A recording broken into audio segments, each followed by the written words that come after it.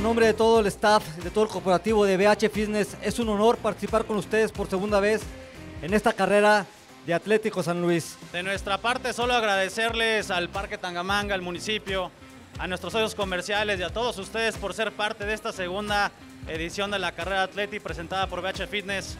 Que sea un evento que año con año lo disfrutemos todos.